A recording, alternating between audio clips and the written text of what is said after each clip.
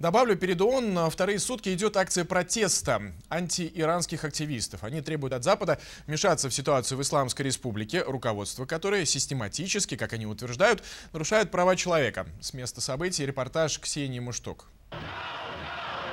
Красные свечи, лепестки роз, портреты погибших диссидентов и затоптанные фотографии иранского лидера. Детально обставленная акция протеста собрала около 500 недовольных положением дел в Иране. Основной их лозунг – «Молчать больше нельзя». Толпа протестующих растянулась на целый квартал. Они называют правительство Ирана воинствующими террористами и требуют равноправия для всех. Недавно избранный иранский президент Хасан Раухани, чья фамилия переводится с персидского как «духовный», для протестующих – диктатор и религиозный фанатик, волк в овечьей шкуре. В листовках, которые распространяются тут же на протесте, говорится, что за несколько месяцев его правления в стране были убиты 225 политических заключенных, 35 из которых обезглавлены. Протестующих подогревают криками со сцены.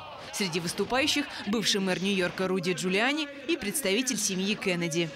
Свобода, будущее, в новый мир, где можно будет жить, а не существовать. Гуйнала в Нью-Йорке уже 4 месяца. Она говорит, что в августе в Иране казнили ее брата за то, что он открыто выражал недовольство правительством.